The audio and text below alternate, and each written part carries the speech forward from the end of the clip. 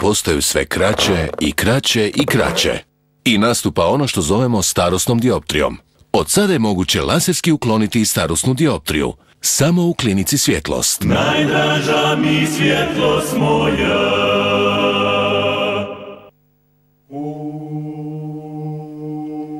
Ostala su razapeta idra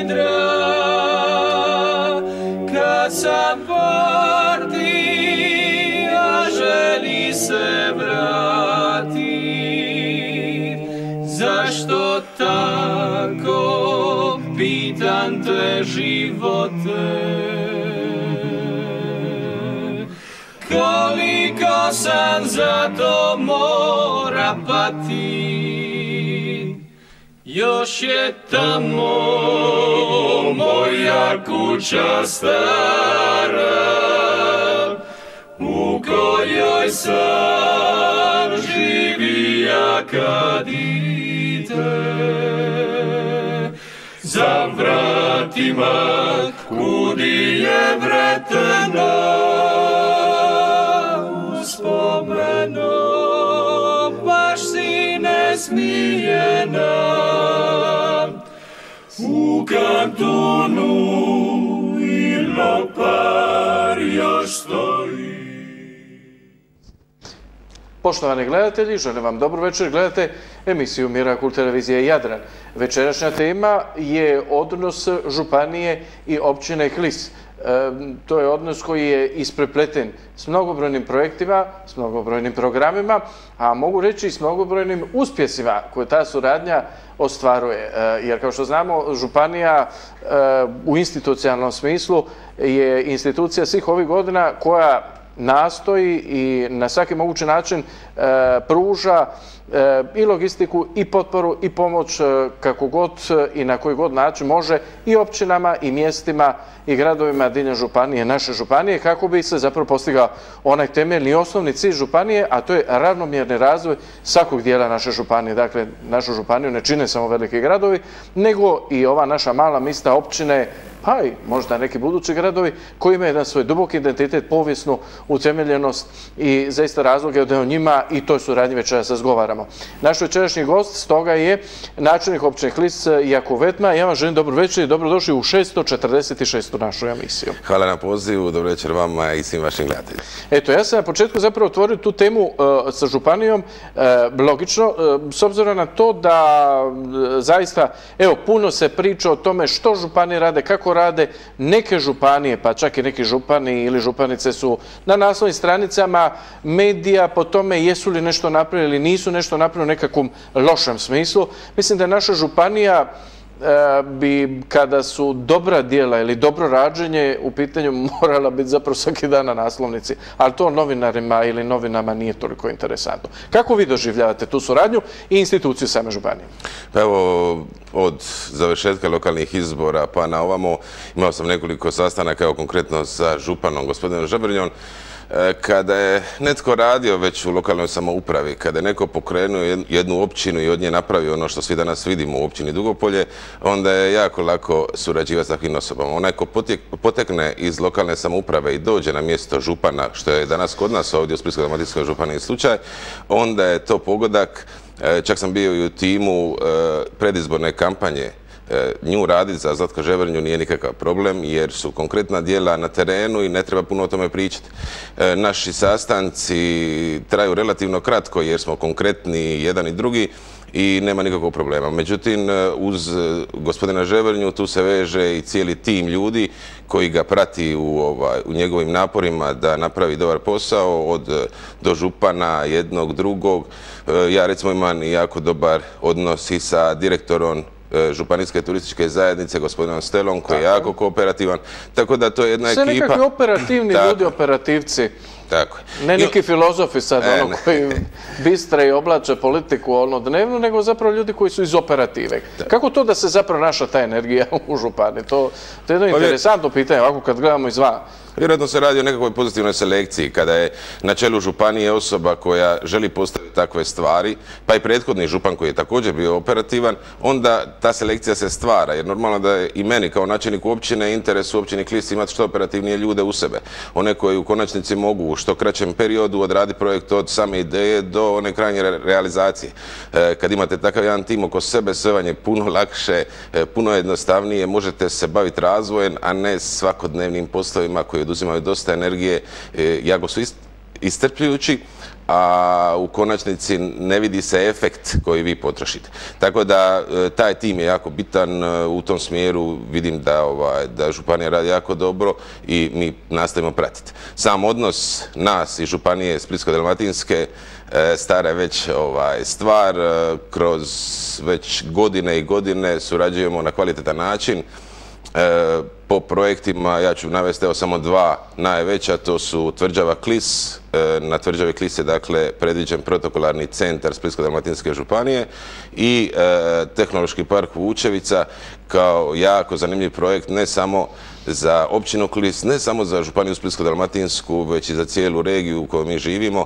E, jako perspektivan projekt o kojem možemo možda detaljnije malo kasnije. Malo kasnije. Ne zna se koje su zapravo ta dva projekta važnija, ali je zapravo činjenica da je Županija stavila akcent i na jedan i na drugi projekt kao nešto što je zaista od posebne važnosti i tu se slažem s vama, to zapravo, e, to je jedan slijed koji zapravo traje već i od prethodne administracije na čelu sa gospodinom Anto Sanadarom koji je zaista bio veliki zagovornik kako i uređenja Providurovog doma, tako i dvora, tako i projekta Vučevice koji je od neobično velike važnosti i značaja e, za, za cjelokupnu našu županiju i razvitak naše županije.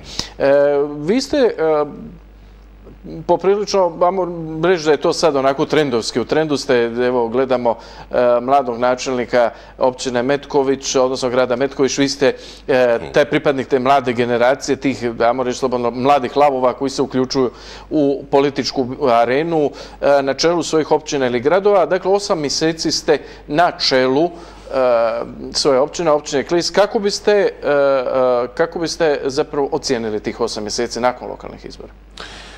Pa lokalni izbori su bili ovaj, jednom dijelu iscrpljujući, normalno da, oni uzmu jedan svoj danak.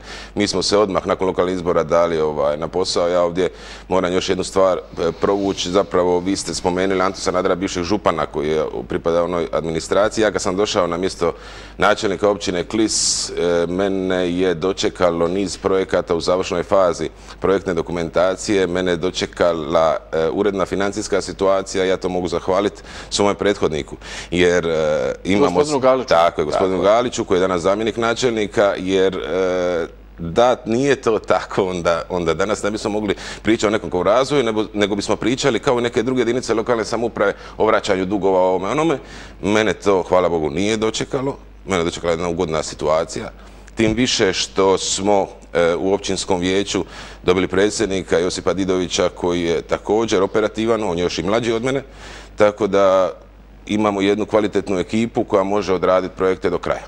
Ovih osam mjeseci e, smo iskoristili, evo čisto da gledatelji znaju, znači općina Klis je protekle četiri godine bila politički nestabilna. Mi kad smo sad dobili tu političku stabilnost, onda smo morali neke stvari koje u te četiri godine su, e, nisu se mogle odraditi upravo zbog tih izvanrednih izbora ovog onoga, ne ulazeći sad u razloge što, kako i zašto, e, onda smo krenuli riješiti one osnovne probleme, goruće probleme, da bismo onda dalje pričali o razvoju i nekakvim projektima za budućnost. E, ono što smo e, osjetili pri samom dolasku, zapravo su nas dočekale dvije činjenice. Hrvatska je ušla u Europsku uniju i e, fondovi su se otvorili kao jedna perspektiva svih jedinica lokalne samouprave, pa tako i općine Klis. Odmah smo aplicirali za nekoliko projekata, odmah smo ih i dobili. E, stvorili smo jednu dodanu vrijednost svojim radom i donijeli smo sredstava iz drugih izvora, osim same općine. Tu opet se vraćamo na priču sa Županijom, koja je sufinancirala radove na Kliškoj tvrđavi u iznosu od nekih 500 tisuća kuna i e, pokrenuli smo cijelu inicijativu za dovršetak onih projekata koji su nam od lokalnog značaja. E, to ja sam pozvao bez obzira na političke stranke i sve vijećnike u općinskom vijeću da se oni kroz svoje interese e, političke da kako i od društvenog značaja uključe u rad, da dođe e, da dođu do mene i da razgovaramo o budućim projektima. I mnogi od njih, unatoč tome što ne pripadamo istom, recimo, ovaj, političkom opredjeljenju, su se odazvali tom pozivu i ja sam na tome zahvalan. E, kako inače surađujete sa vijećnicima, s vijećem, općenito općinskim? Kakva je suradnja? Upravo ste malo prije rekli da su postojale određene trzavice, nesuglasice u prošlosti. Kako to sad izgleda? Pa prilično ugodno. Znači, sjednica vijeća kao takva je definirana poslovnikom i vijećnici su tu da postavljaju pitanja. Oni između sjednica vijeća dolaze u moj ured, traže informacije, dobiju, uključuju se u rad, ja ih e, kontaktiram, čujemo se. Dakle, kad radite transparentno, ja nemam tu što krit. Ono sve što radimo, projekte koji su zacrtani, koji su od interesa građana na području općine Klis, mislim da nikome nije u interesu to kočiti. I u tom smjeru radimo svi skupa i kad, takvu, e, takve, e, kad stvari postavite na takav način, onda sigurno ovaj, možete očekivati i dobru povratnu informaciju, ja sam je dočekao. E, komunicirate li s građanima, mještanima? Je li, je li zapravo e, prihvaćate i njihove ideje, sugestije? Apsolutno, dakle, to je mala sredina, znači svak svakoga zna, jel?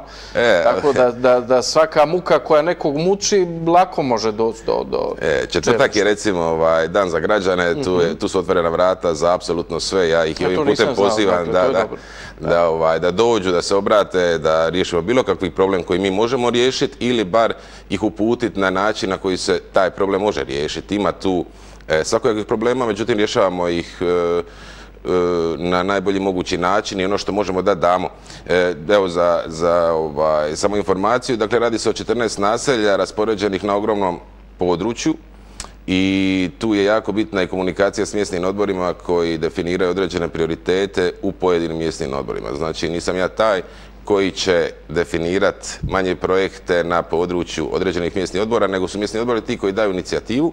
Na nama je da to sve saslušamo i naravno da, ovaj, da krenemo u realizaciju tih projekata. To je ono što e, provlačim cijelo vrijeme i želim zapravo aktivirati što više mjesne odbore da se uključe u rad općine. E, kada govorimo, spomenuli ste malo prije Evropsku uniju, Evropske fondove, e, možda nekoliko riječi o poduzetničkom, odnosno poduzetničkim inkubatorima. Mhm. E, to je recimo isto tako interesantna, jedna od interesantnih tema. Jel? Novce treba namaknuti, a teška su vremena, dobro dođe svaka inicijativa. Tako je, dolaskom na čelo općine Klis bio otvoren natječaj Ministarstva poduzetništva i obrta za poduzetničke inkubatore. Mi smo tu odmah aplicirali. Unutar tog troškovnika smo predvidjeli zapravo sve ono što je potrebno za rad jednog poduzetničkog inkubatora i jedini smo u Splitsko-Dalmatinskoj županiji koji smo dobili sredstva za to. E, što poduzetnički inkubator na kraju znači? Jedan dio e, zgrade općine će se rekonstruirati, tu će se zaposliti, dakle to je predviđeno troškovnikom dvije osobe e, koje će biti na raspolaganju po pitanju start-up firmi, znači tvrtke koje su u osnivanju. Na taj način želimo pomoći E, svima onima koji žele ili kroz registraciju OPG-a ili kroz iznajmljivanje apartmana ili kroz, daj Bože, i neke veće projekte poduzetničke, želimo im osigurati i financijsku računovodstvenu pravnu pomoć da krenu od tog inkubatora. Krajnji cilj inkubatora je da e, ti poduzetnici završe u poslovnoj zoni. Osim toga, inkubator će služiti nama kao općini, kao jedno operativno tijelo za apliciranje prema fondovima i prema svim natječajima, bilo ministarstava, županije ili fondova Europske unije. I evo, danas smo imali jedan sastanak, već e, tri su projekta u pripremi, a inače općina Klis je pokrenula i e, izradu razvojne strategije za period od 2014. do 2020. gdje smo dakle kompletnu strategiju razvoja općine Klis definirali i kroz projekte koji su trenutno na razradi, oni će se ocijeniti na jednom posebnom povjerenstvu pa ćemo izabrati prioritete i krenuti smjer. E, kada govorite o poduzetničkim inicijativama, što je ono što e, e, očekujete, a što je ono što priželjkujete, kakav profil zapravo poduzetništva vi kao općina sebe na neki način projicirate u budućnosti? Kako poduzetništvo najviše Gledajte, Koja grana gospodarstva? E, u ovom svom vremenu, dakle, u vremenu krize, kada nema poduzetničkih e, inicijativa, odnosno kada se govori da nema, ja smatram da ih ima, samo treba Samo otvoriti treba vrata. ohrabriti, Tako tako je. je. Ovaj, e, naravno da nama kao općini e, paše ona djelatnost koja generira najveći broj radnih mjesta. Mi smo tu apsolutno na raspolaganju. Nije interes općine Klis da ona zadovoljava samo svoje proračunske potrebe, nego interes općine Klis da zaposli one ljude koje na tržištu rada ne mogu pronaći svoj posao. Tu su posebno ugroženi, to je pokazala i analiza, e, mladi e, koji su došli na tržište rada u vrijeme kad je neko rekao dolazi kriza, kada su im se zatvorila sva vrata pred nosom, kada ne mogu osigurati egzistenciju ni sebi ni svoje obitelji i onda se tu opet nadovezuje tema o pronatalitetnoj politici koja zapravo trenutno nije moguća dok se ne osiguraju e, osnovni egzistencijalni uvjeti u što ubrajam i radna mjesta. Znači one inicijative koje će generirati veći broj radnih mjesta svakako će biti prioritet u daljnjem radu općine Klis, ali e, to ne isključuje niti jednu djelatnost, da se razumije. Da, e, sigurno da bi možda, eto, nekakvoj percepciji vas, e, uz te čiste tehnologije i turizam bio nešto što Apsolutno. sigurno, zašto je klis bogom dan da tako. Je, turizam, poljoprivreda i ove poduzetničke zone koje imamo, e, koje su definirane prostornim planom, to je ono što nas očekuje u budućnosti. Mi smo na takvoj jednoj strateškoj poziciji, to su nekakvi naši priori- e, ne- naše mogućnosti i one su ugrađene i u ovu razvojnu strategiju i u tom smjeru ćemo ići. E, Zaštita izvorišta rijeke Jadro, to je sigurno jedna tema oko koje e, nema diskusije da se treba voditi računa. Jadro je nevjerojatno značajna za cijeli splitski bazen. Apsolutno, Jadro napaja Dakle, jedno cijelo područje, općina Postrana, grad Split, e, grad Kaštela, Trogir, to su... Solin. Ovaj, tak, Solin. Solin apsolutno. E, to su gradovi veliki koji se napajaju iz rijeke Jadro. E, s druge strane, općina Klis je u vodozaštitnom području rijeke Jadro. E, svakako da tu rijeku treba zaštititi. Međutim, e, ja nisam pobornik toga da se rijeka Jadro štiti isključivo rigoroznim uvjetima prema investitorima potencijalnim, jer smo mi onda kao jedinice lokalne samouprave ograničeni razvojem. Kako pronaći rješenje? Istra je to riješila na jedan dobar način, znači oni su definirali slivna područja rijeka koji su njima bitne i e, definirali su to na način da onaj krajnji korisnik ili gradovi koji se napajaju iz te rijeke zapravo sudjeluju u financiranju zaštite rijeke Jadro. Kad govorimo o zaštiti rijeke Jadro, onda u prvom e, zapravo najbitnije u tom dijelu je izgradnja sekundarne kanalizacijske mreže na području tog vodozaštitnog područja. Ako izgradimo sekundarnu kanalizacijsku mrežu, ako to napravimo na pravi način, onda smo kvalitetno zaštitili rijeku Jadro. E, Što da to znači sekundarna kanalizacijska mreža tu na tom potezu? Ko- e, Je li to se odnose zapravo na cijelu općinu Klis ili se odnose samo na taj potez koji je koji Dakle, vodozaštitno područje je definirano određenim zonama, prva, druga, treća, ili zona vodozaštitnog područja.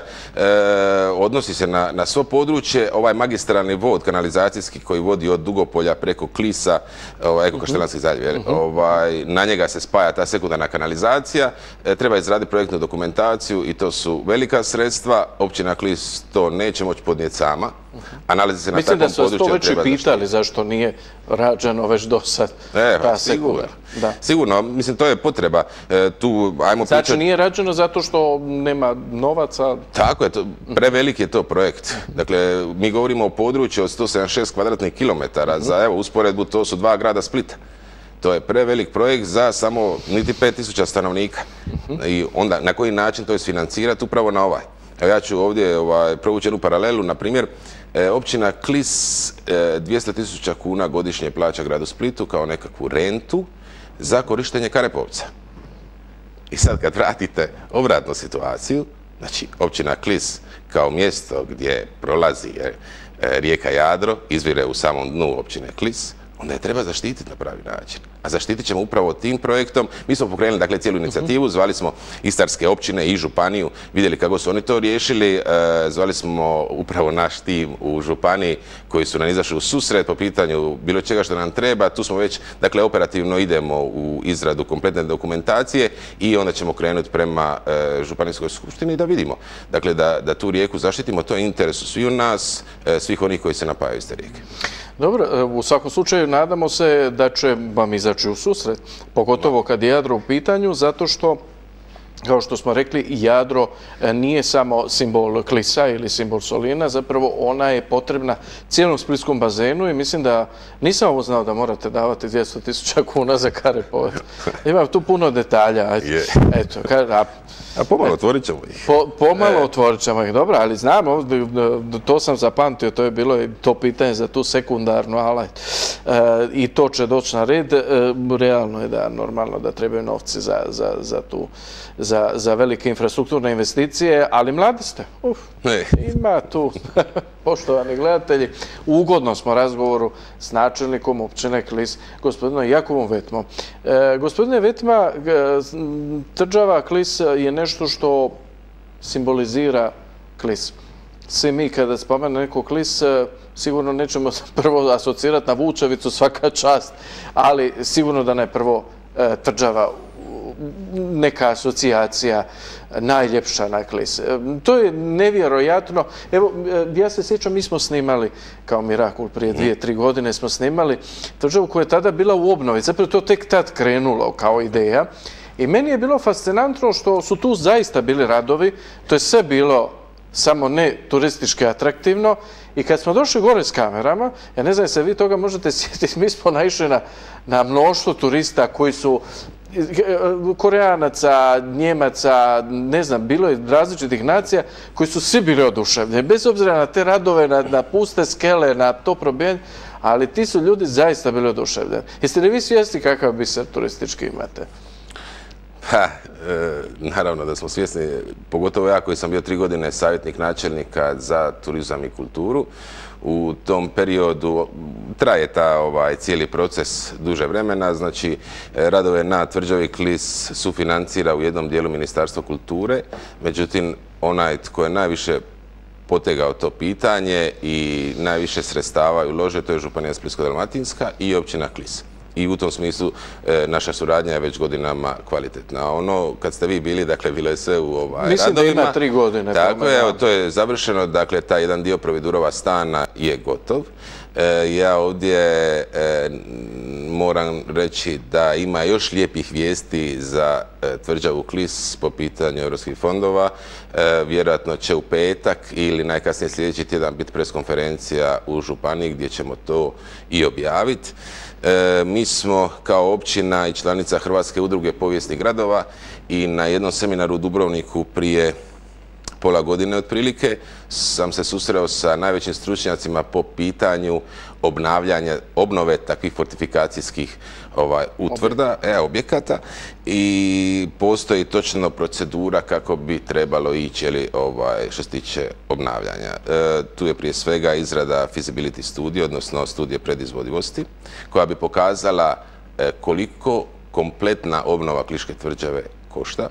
Nakon toga e, akcijski plan i sva ostala prateća dokumentacija, naravno u suradnji s konzervatorima i onda apliciranje prema fondovima. Priča je prilično jasna, ja sam vidio na desetke primjera takvih utvrda u Europi koje su dovedene u funkciju i mislim da to Kliška tvrđava svakako zaslužuje. E, mi smo imali u međuvremenu i snimanje HBO produkcije, dakle velike produkcije kuće iz Amerike koja je snimala seriju Game of Thrones na Kliškoj tvrđavi. Na taj način smo, željeli popularizirati još više i to ćemo raditi svakim danom. Jer to je biser koji na ovom području, pa usudit ću se reći na području cijele Republike Hrvatske, nema premca. Tu se prvi put spominje riječ Hrvat, tu se prvi put spominje Hrvatsko kraljevstvo, e, tu je ishodište hrvatske državnosti, a mi živimo danas u državi koja se zove Republika Hrvatska i mislim da bismo trebali svi skupa a Županija i općina Klis to već i rade, dati jedan veliki značaj tvrđavi Klis. Kao što kaže naš e, predsjednik vlade, nismo u SSSR-u, živimo u Hrvatskoj. Kada govorimo o Kliškoj tvrđavi, koliko će ona zapravo biti u funkciji, rekli ste, protokolarnoj, županijskoj, koliko će biti u turističkoj, a koliko će zapravo biti u funkciji da zaista mi, obični građani, možemo to sve skupa osjetiti? Da, to je, to je ono ključno pitanje koje postavljaju najveći stručnjaci. E, pa evo primjeri, ja ću govoriti o europskim primjerima, ja neću govoriti sad o idejama jer ono što ćemo sad raditi je studija upravljanja tvrđave KLIS koja će jasno definirati određene odnose i vidjet ćemo na koji način će to sve skupa funkcionirati. Međutim, e, s jedne strane ići u komercijalizaciju određenog dijela svakako treba. E, međutim, ne smije se nikako izostaviti i ovaj prostor, javni prostor, odnosno prostor za sve javni interes, tako je, koji, koji žele doći gore, koji žele posjetiti tvrđavu Klis, pa i ovaj protokolarni dio svakako ovaj, zaštititi, ali kažem, e, većina e, europskih utvrda u tom smislu je išla na način da je e, jedna trećina ili jedna polovica za javnu upotrebu, a onda ovaj ostatak eventualno iskomercijaliziran u smislu nekakve koncesije ili nečega. Treba biti jako oprezan, ja se time ne namjeravam igrati, to je priča koja stoji stoljećima u klisu i treba potaknuti razvoj, ali istovremeno biti jako oprezan po pitanju upravljanja tvrđavom klisa. Što drugo reći, kada pogledamo tvrđavu, kad pogledamo klis u onom njegovom e, najkoncentriranijem dijelu, zapravo o klisu treba razmišljati danas sutra kao o Splitskom Beverly Hillsu. Naravno, treba puno toga napraviti još, ali zapravo tako ga svi koji zapravo dođu u naš grad ili dođu e, ovdje turistički e, na neki način doživljavaju, svi se zapravo iščuđavaju kako tamo nema masa kuća sa ogromnim bazenima, onako isto ko što je u Los Angelesu, jer zapravo pozicija je fascinantna, prekresna. O tome i o budućnosti e, Klisa pa čak i inicijativi, dakle, ispostane grad. Poštovani gledatelji, e, razgovarat ćemo s načelnikom općine Klisi Jakom Vetmom nakon što se otvorimo u skrat KPP blok. Ostanite uz nas.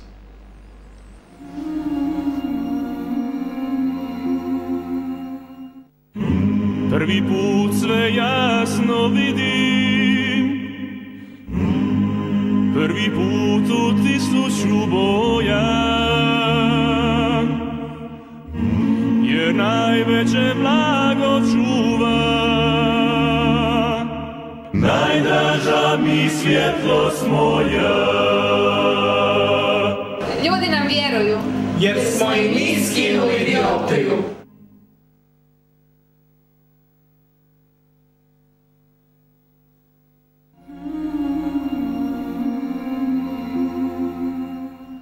Poštovani gledatelji, za sve vas koji ste se naknadno uključili gledati emisiju Mirakul televizije Jadran, večerašnja tema, odnos Županije i općine Klis, e, komentare vezano za taj odnos i planove razvitka i tog odnosa i same općine, kao jednog primjera kako i na koji način E, županija može utjecati, a i e, kvalitetno općinsko vijeće na razvoj same općine.